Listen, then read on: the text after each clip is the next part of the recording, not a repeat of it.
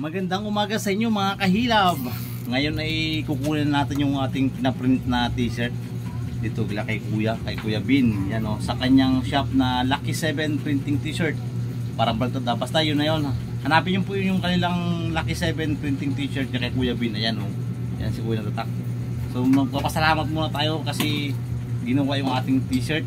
Talagang maraming salamat po sa nagbigay ng t-shirt kay Kahilab TV. Tsaka kay Chrisbill TV po, nagpagawa po kami ganito. Ayan, ayan po. Yan, yan po yung gumagawa. Naku, ay subukan po ninyo ang gawa niya.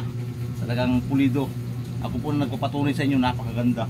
Makapal po yung kuha niya, yung print niya.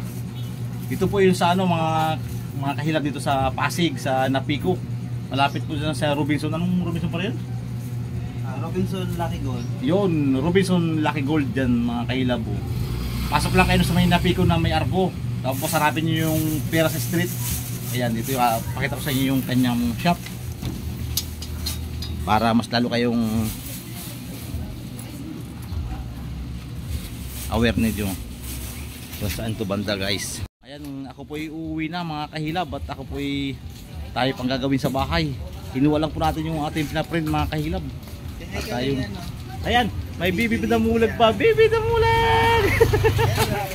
may bibi damulag pa kami kasama sa video, oh, di ba? Yan po ay bibi nung aming ano, nagpa-print, yung nagpi-print po pala. Ayan oh. Oh, ang cute cute ng bata nila. Sana ay si Kahilad na may sunod na magkaroon ng baby na.